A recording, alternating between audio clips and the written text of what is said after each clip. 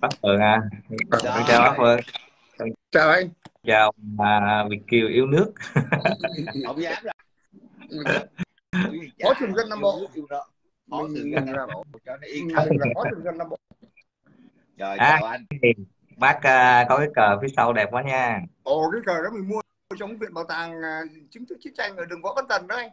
À vậy sao không biết là tại sao À. mà mua được có một cái ra chiến tích à, chiến tranh của à, ở Sài Gòn ở thành phố Hồ Chí Minh gì? Đúng rồi võ văn tần quận ba dạ. Mới mấy tháng rồi, mà sao không biết là tại sao mình mua được có một cái không biết cái này bác mua lâu về mua nhiều chưa? nhiều ai tới đây biếu cái. Ừ. chắc bác mua lâu rồi gì? Không mới đây tháng 10 tháng mấy năm ngoái rồi. À, à vậy là bác mới về hả? Mới về ừ. về năm ngoái ở ở ở ông về em gặp uh, bác ở bố nè à cái đợt bố giờ tướng về. Ờ năm nay ông về ông lại chuẩn bị ông ăn thịt tao đó. Lần sau bác về bác mua nhiều nhiều quá bác bác phát Ừ. cho con cháu rồi người thân những người nước. Để bác à, đừng có phát nhầm à, cái phe bên kia nó lại Ờ. kiếm chuyện với bác. Hai bên kia nó, nó đâu có dám tới nhà ông đâu. Dạ. người ta nghĩa là người người ta không có cà khịa với mình anh. Mình được Dạ. cho. Đó. à, đúng rồi cũng vậy tôi À, cũng vậy phía, phía bên tôi cũng vậy. Tôn trọng quan điểm của nhau. Không hồn ai hồn ai nấy giữ à, Dạ. anh, lên, anh, lên sau thì tôi cũng cũng cũng ngắt lại cái cái live hôm nay là live hôm nay là cái ngày à, mình nói chuyện về về ba mươi tư thôi. Ok nhưng mà tôi chỉ thắc mắc tôi chỉ thắc mắc cái điều này là phượng anh chưa sao anh chưa nghe. Bây giờ cái người dân Việt Nam mình ở trong, nước anh ừ. người ta không phải là ngày lễ 30 tháng 4 nữa mà người ta Ừ. gọi là Tết độc lập. Tiếp tục lập. À đó khổ. Thấy chưa? Từ mà hồi xưa mình ra đi thì mình nghe là 30 tháng 4 thôi nhưng bây giờ họ sửa rồi. Và mình thấy Lễ. mình thấy nó hay hay mình thấy nó hay hay. Mùa lễ. Hội xưa là mùa mùa lễ hội. Ờ, nhưng mà tháng tư. cái- ở Việt Nam mình anh cái cái tháng à, cái tháng tư là cái tháng lễ hội à mà cái lễ hội lớn nhất là cái nó là cái lễ hội ngày 30 tháng 4 nhưng mà giờ nó không gọi là 30 tháng 4 theo kiểu ngày lễ. Đúng đúng đúng đúng độc ngày lễ hội. Đúng đúng đúng đúng đúng. Đúng. mà ý là tôi muốn nói là cái này không phải ai ra quyết định cả. Đúng. không có chính phủ không có ai ra mà quyết định vậy. nhưng mà cái người dân Đúng mà- họ tự cho là vậy. Đó cái đó Đúng cái hay chỗ đó đó. Đúng rồi người có dân. Nghĩa là là người dân tự tạo ra cái Đúng. tết cho mình và đặt Đúng. đặt Đúng cái tư là cái tết thấy không? Đó là cái ý nguyện của người dân rất là mãnh liệt mà theo yes. Và nói nó cái đó nó muốn nói là điều gì? Tức là hầu như 100 triệu dân Việt Nam đều muốn là như vậy. Bởi vì Yes. có nghĩa là ở đây mình muốn nói là những cái số tuổi mà đã đi qua chiến tranh giống như tao ông Phượng những người bảy tám mươi tuổi họ hiểu được thế nào là hòa bình họ hiểu được là thế nào là thống nhất và họ hiểu được cái trân trọng họ quý ngay từ điểm hiện tại. Được như bây giờ họ quý từ vì chỗ đó họ đặt là cái tết. Đó là cái tết đó, theo tôi cũng khoái khoái ra đúng rồi. Chỉ có thiếu chỉ có chỉ có có thiếu là thịt dưa cà với lại Đúng rồi. ờ, thịt kho tàu nữa. Chứ ngoài ra là đủ đó. Ông à, cái cái mỗi cái tết nó có một cái đặc trưng riêng bố dưa cà câu đối Nhưng mà- là bánh chưng thì là tết cổ truyền. còn tết cổ rồi, truyền thì rồi. họ đi chơi. Tết họ đi ăn đi uống đi chơi. Dạ. Có nghĩa là tết Ờ, cổ truyền là họ Yes. sẽ về với gia đình còn Yes. tết bố tết là lập em đồng đi chơi dạ gặp gỡ bạn đúng rồi. đúng đi chơi Tết- mỗi người chơi một kiểu cái nghĩa đúng rồi Dạ.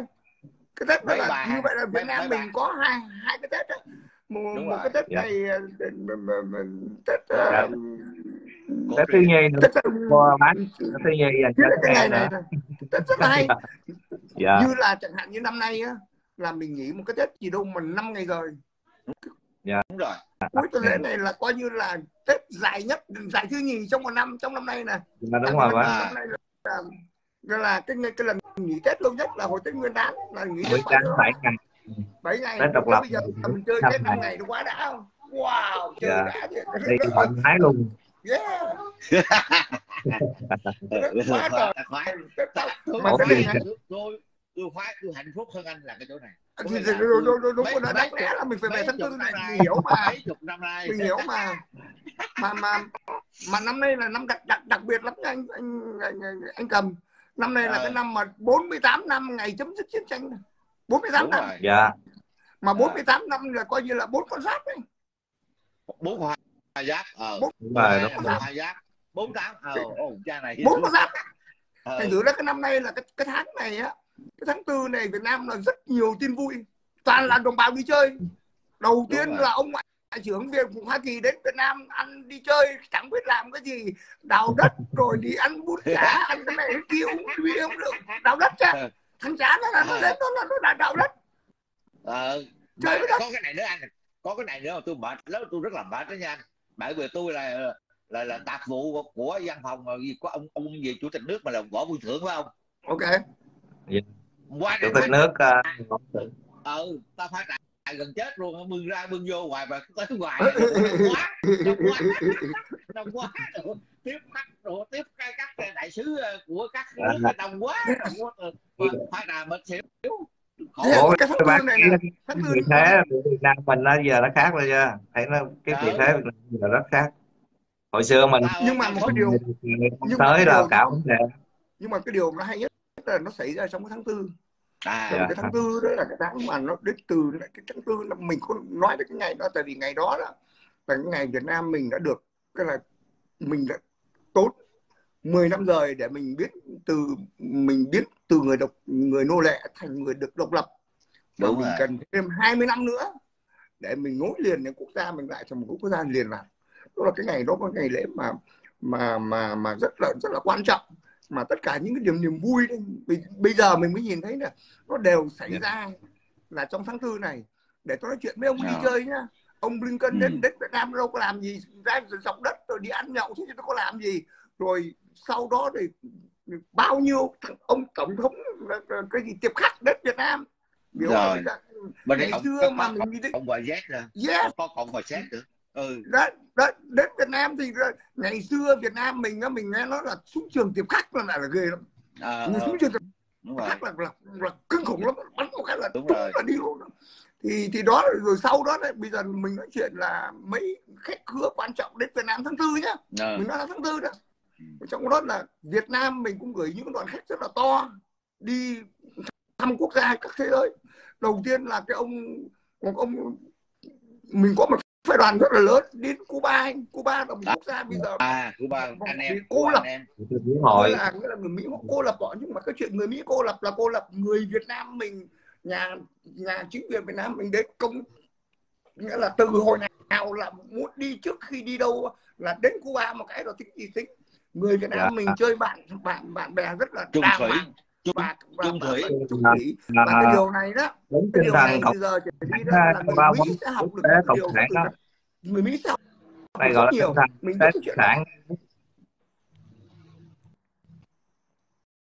này mình gọi là cái tinh thần quốc tế cộng sản cao cả đó. cộng sản là chơi chơi vậy chứ không phải chơi đồng minh mấy kiểu mà ăn chặn bóp ờ, từ cái khẩu trang từ cái, ờ, Ê, cái mối khí đốt đồng thôi minh như vậy thôi. Như vậy ai vậy? Thôi, ai vậy? Chào thành trung. Dạ.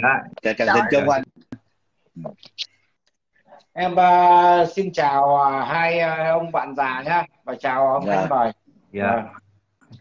Các anh cứ Dạ. tâm sự đi, à, gần đến ngày uh, 30 tháng 4 rồi thì uh, những người, người dân trong nước thì cũng uh, tổ chức những cuộc đi chơi thăm thú rồi là mừng cái Việt Nam độc lập thống nhất thì bốn- 48 năm rồi ạ. vâng Thì hôm Vâng. nay là anh em lên để tâm sự để mà chia sẻ những cái uh, niềm vui đã trải qua Vâng. 48 năm mà đất nước Việt Nam Vâng. chúng ta nếu nó là ngừng tiếng súng thì phải đến năm 88 88 thì Vâng, đúng. đất nước Việt Nam ta mới ngừng tiếng súng ở hai đầu đất nước vâng nhưng mà để mà thống nhất nước giải phóng lên non sông đấy thu về một mối thì đã 48 năm rồi Đúng rồi.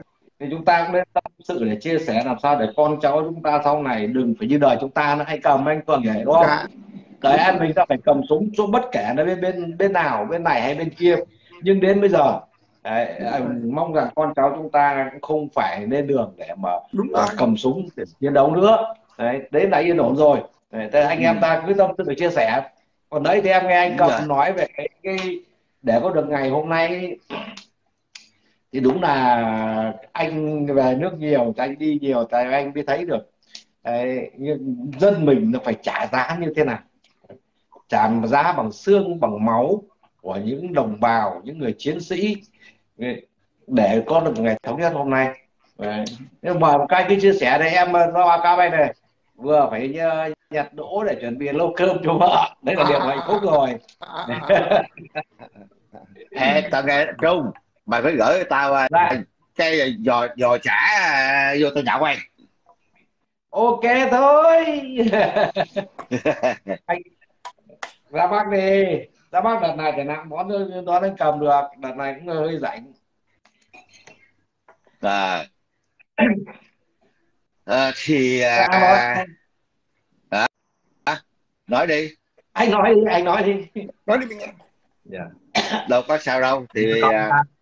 con có uh, ý kiến vậy nè dạ. như là xưa uh, các các uh, chú các bác hình như thương cái thế hệ sau này đó bố ừ. cho nên là uh, muốn có một cái tết độc lập nó dài đó chứ đáng ra là tại sao không không giải phóng Sài Gòn ngày 25 tháng 4 hay là ngày 5 tháng 6 mà lại là 30 tháng 4 đó, dính với ngày 1 tháng 5 cho nên giờ con cháu được nghỉ tới 5 ngày sướng rồi sướng.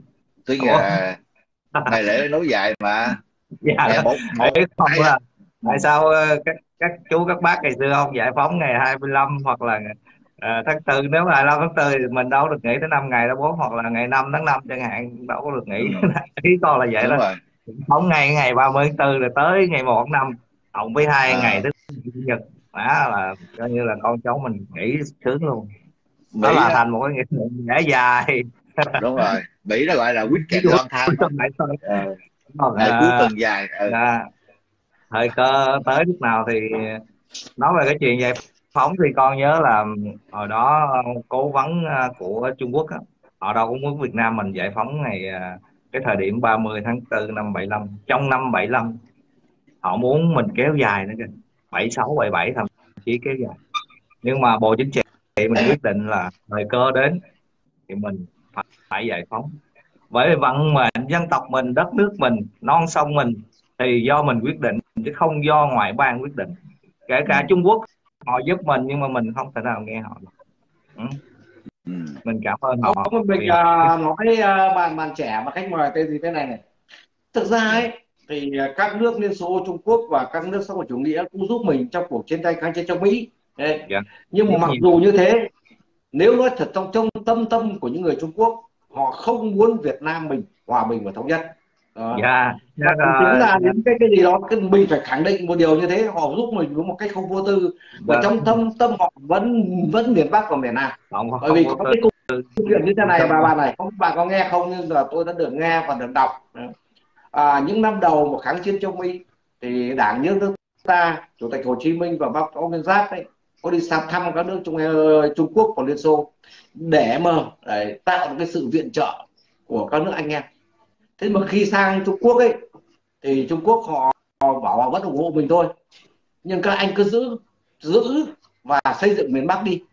Còn nếu muốn giải phóng miền Nam thì 100 năm nữa hãng nghĩ đến giải phóng miền Nam bởi vì ý muốn của họ có muốn là mình mình giải phóng miền Nam đâu. Cái thứ hai là khi mà, mà bác và bóng giáp sang Liên Xô ấy thì các uh, người anh em Liên Xô mới hỏi rằng là các anh có bao nhiêu sư đoàn bộ binh? Bao nhiêu cái sư đoàn tăng thiết giáp? Bao nhiêu sư đoàn không quân? Thì bác võ nguyên giáp và chủ tịch chúng ta đã nói rằng là nếu như đấy, các anh đại học cái lý thuyết về chiến tranh về chiến đấu của liên xô thì rất tốt. Nhưng nếu đánh theo kiểu các anh, thì chúng tôi chỉ đánh được một tuần này. Còn chúng tôi đánh theo kiểu của việt nam thì chúng tôi sẽ thắng mỹ. Chúng ta phải khẳng định với bạn bè quốc tế là chúng ta đánh theo kiểu việt nam. Thế các nước anh em bạn bè thì người ta cũng nghi lại nhà mình. Bởi vì từ năm 54 đến năm 75 thì đất nước ta vừa mới trải qua 9 năm kháng chiến chống pháp. Trang bị thiết ờ, bị vũ khí kỹ thuật bằng con số không tròn chính đúng không? Ngay thời gian chống pháp chúng ta ai cũng gươm dùng gươm ai có súng dùng súng ai không có gươm có súng thì dùng gậy gộc và giáo mát. Đấy, gậy tầm vông mà chiến đấu với súng đồng đồng đại bác mà chúng ta vẫn chiến thắng. Các nước anh em có hỏi là có bao nhiêu sư đoàn chúng ta cũng ta chưa có một cái cái cái gì cả. Xe tăng thì cũng chưa. Đấy. xe tăng đến năm năm chín mới thành lập mà mới được Liên Xô viện trợ được uh, hơn 200 cái xe tăng T34 Đấy. còn vũ khí chúng ta hoàn toàn là thô sơ. Thế nhưng bác vẫn khẳng định rằng chúng tôi đánh theo kiểu của Việt Nam. Đánh theo kiểu của chúng tôi thì tôi sẽ thắng. Còn nếu đánh theo kiểu của các anh ấy thì chúng tôi không đánh được một tuần.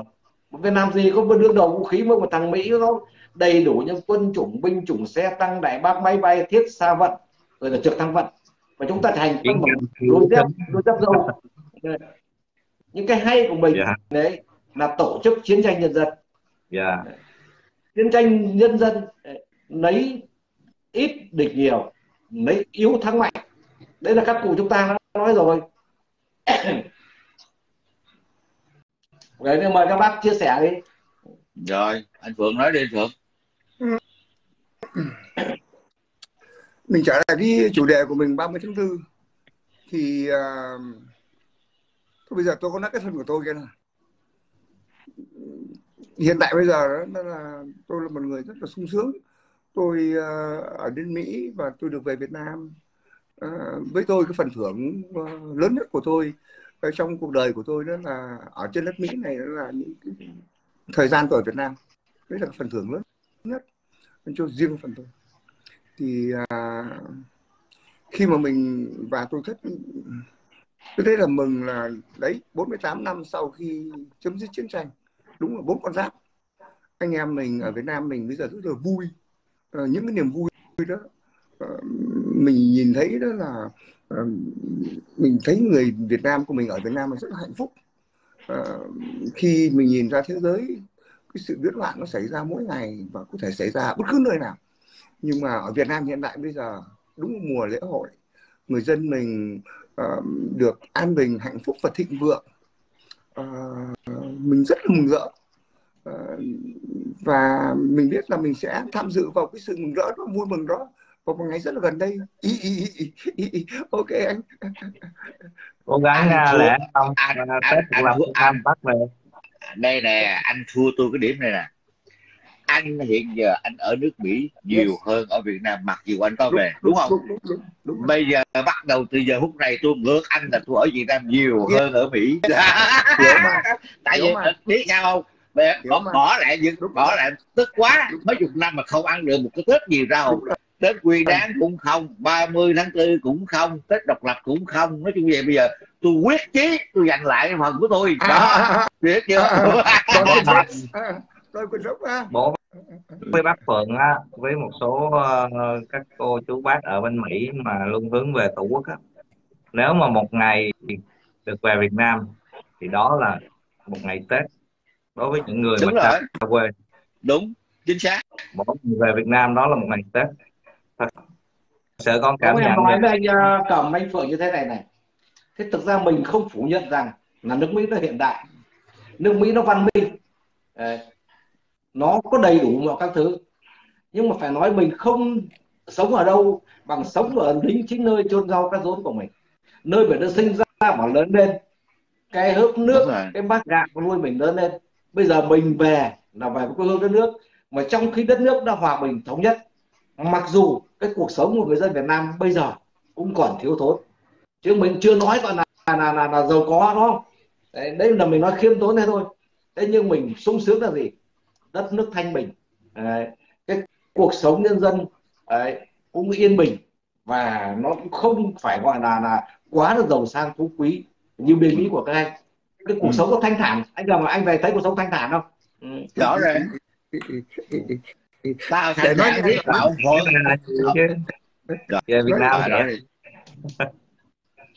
nói đi anh. Cái uh,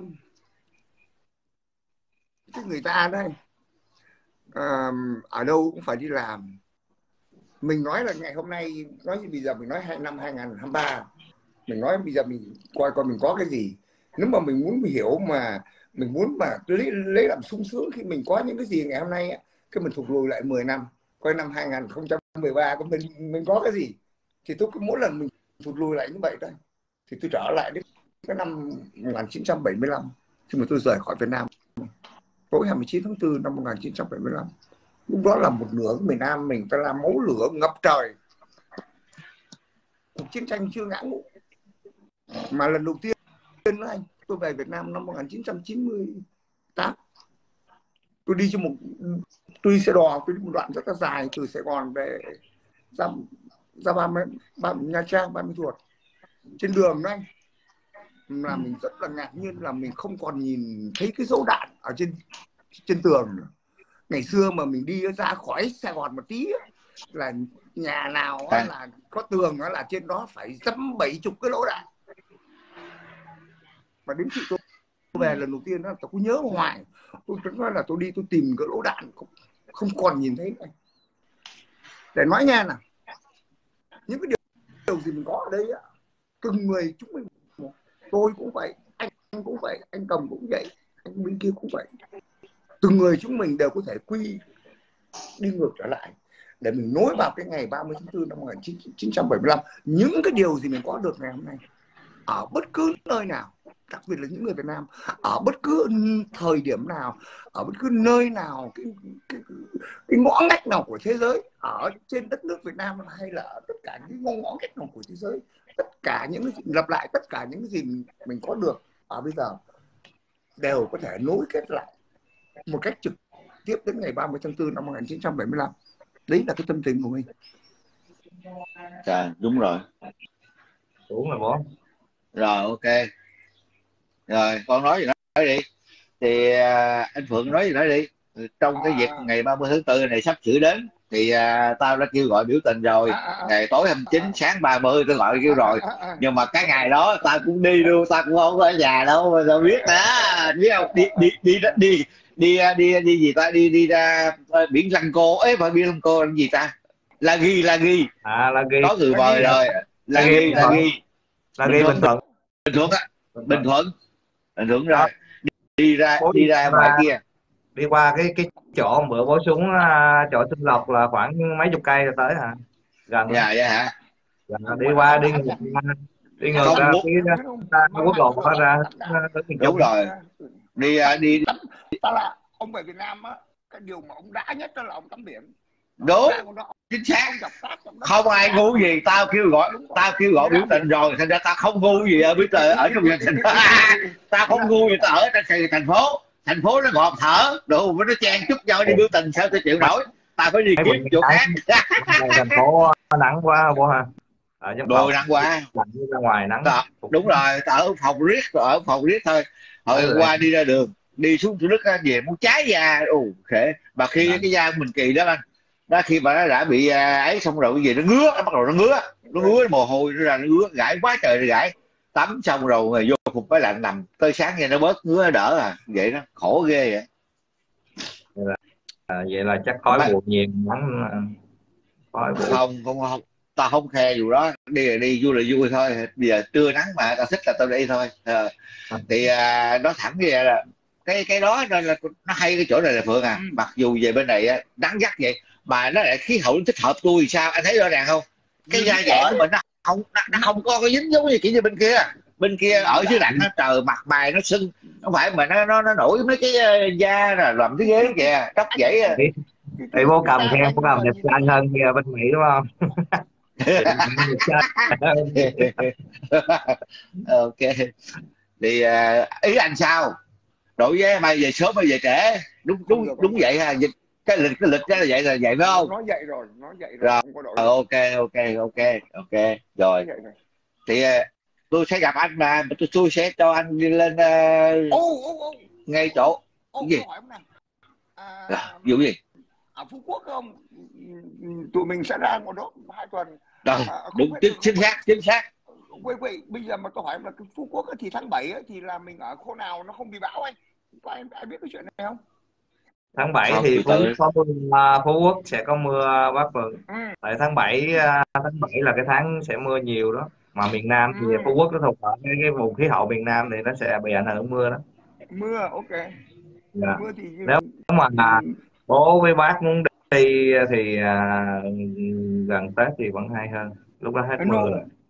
Bây giờ nó tháng 7 rồi không có nói không có sửa được. À, nhưng mà à có nghĩa là rồi Ok. dạ. được nhưng mà rồi không sao. Không sao hết. Sao? à, nếu là đây thì mưa thì mình à, vô à, Mưa- chỗ nào xuống rồi hết mưa lại mưa, đi. mưa vùng nhiệt đới mà tắm còn được mà. Dạ. Con à, chị à, con à, con à, Ê, chị ê. à, nè à, ha. à, hai uống dạ, nước mưa đi không bao giờ bị cảm cảm lạnh. Ê, À, ê, à, phượng à, phượng phượng phượng à, nước mưa là cảm lạnh luôn. Ê, phượng phượng phượng. Gì- vậy thôi trời mưa hai đứa mình trở về tuổi thơ đi. Đi tắm mưa. Ở trường tắm mưa đi. Dám không không ở được không có mưa. Sạch đó tắm mưa. Luôn nữa. Ok. Ờ, đúng rồi đúng rồi. Chính xác. Ok anh. Cứ mưa mình tắm ạ. Cứ mưa tắm thôi. Mưa không có sao hết. Nó lần anh biết không anh tắm ở đó anh ở đâu anh tắm ở đó. Cái cái cái cái có thể là cái, cái lần đầu tiên đó, là con người mình nó chưa có Atlas được thì nó thế này thế kia nhưng mà anh tắm nước mưa không có cái gì anh tắm đã bằng tắm tắm, tắm mưa ở, ở trong nam trong nhớ hồi nhỏ nhớ hồi nhỏ nhớ nhớ hồi nhỏ mà trời mưa xuống mừng lắm. Kê đầu vô mấy cái bắn cái mấy cái bắn xối của nhà ta đó biết không? Của nhà ta. Nó ầm ầm ầm em mà đã lắm kìa vui kìa. Thôi hai. Thời tao với ổng là có nói chuyện ta ăn, ăn cơm nha rồi ok thôi được rồi ok. Để thì chúc, à, à, nói chuyện ba nói được ba phút. rồi em con xuống đi. Rồi ok. À, chúc bố cầm với bác Phượng à, nhiều sức khỏe nha. Rồi, Rồi. à, Cảm ơn là gắn bó với đất nước nhiều hơn. Gắt gì đâu gắt bao. Dạ, dính mẹ rồi rồi thành công dân Việt Nam luôn rồi ừ. chào bố chào bác. gắn gì nữa? Ok, Rồi. rồi dính rồi chứ còn gắn gì nữa? Khỏi gắn. Dính rồi. Dính luôn Rồi. rồi khỏi gắn khỏi bu mùa khỏi bù lon gì hết lấy cái dây nó cột lại là vô ngon lành. Đúng rồi. À, ok thì à, mình phải à, nó phải công nhận cái điều này là tôi thì riêng tôi thì tôi đang ở Việt Nam. À, cũng còn tuần lễ sau thứ chủ nhật tuần sau là 30 tháng 4 rồi. Đúng rồi Ờ. đúng rồi. mà à, đang háo hức chờ đợi một cái gì đó mà mình cảm thấy nó mình là mở tầm mắt ra. Có nghĩa là Yeah. ý tôi nói là để coi cái à, cái Tết độc lập này à, lần đầu tiên trong đời tôi tôi tôi tôi về Việt Nam và tôi tôi tôi ấy tôi rất là háo hức tôi chờ đợi. Ờ đúng rồi chờ đợi. Đúng rồi. Thế thì gì? À, thì thì thì, thì, thì đó anh mà tôi đừng có nói ai cho xa tôi nói cái thân tôi ở đây là 30 tháng 4 này nhá cái tháng này là mùng 9 tôi có cái, cái, con à, mùng hôm à, mùng 7 đúng là hôm mùng 7 tôi có một cuộc nhậu. Hôm 14 tôi có một cuộc nhậu. Rồi rồi, rồi cuối tuần này 23 là tôi đã có một cuộc nhậu nữa, cuộc họp nữa. Tức là Ừ. mình tháng tư này là mình mùa lễ hội đến đây 30 tháng 4 là mình có cái buổi nữa. Tức là với tôi bây giờ là rất là vui. Với tôi rõ ràng. ngày tôi- ngày ngày mình rất là mừng. Ngày mừng rỡ ngày mình hưởng thụ cái gì mình có bây giờ đi chơi đi rồi Ừ. tôi thấy bởi bởi vậy nên là cái mùa này là mấy ông sếp nhà mình đi chơi quá trời đi đi thăm Cuba đi qua bên Lào đi tùm lum cái tháng này rất là vui không tháng tư này ừ. cái, cái mùa này là mấy ông đi chơi Đúng rồi bắt trước đi chơi theo Ừ. Thì ok thì cái uh, live hôm nay anh tới anh cũng giúp được cái điều nhưng mà nội dung cái cái cái cái cái live này thì em cũng nói vấn đề với ba mươi tôi mà cái sự vui mừng của à, dân chúng ở Việt Nam mình là họ đổi cái tên đổi cái tên là cái thay vì ngày lễ thì họ đổi là thành ngày Tết. Thì mà đúng nghĩa theo ngày Tết thực sự anh. À, nói như vậy để cho anh hiểu rằng 100 triệu dân ở Việt Nam mình cái sự hòa bình của Việt Nam mình nói là hai miền là ngày lễ độc lập á cái điều đó là cái điều chính đáng và hầu như là 100 triệu dân đều đồng ý điều đó cả. Đó à, ý tôi muốn nói vậy thì à, cái điều đó thì không có một thế lực ngoại bang nào hoặc là một thế lực cỏn con nào ở nước ngoài mà chống đối được được cả. Bởi đó là cái ý nguyện của toàn dân mà. Anh đồng ý tôi nói không? Thành ra vì đó thôi ok đúng rồi. Ờ thì cũng cái lâu cái lâu cái like là cũng khá dài rồi. Thì Ok. mình cũng uh, cơm cơm nước rồi ha anh Phương ha. Ok. Rồi sếp ok thôi chào ta rồi làm tôi phở rồi mới chạy về đó rồi. Rồi ok chào tất cả mọi người nha. Rồi ok. đạo Rồi, ở đạo phở phở mà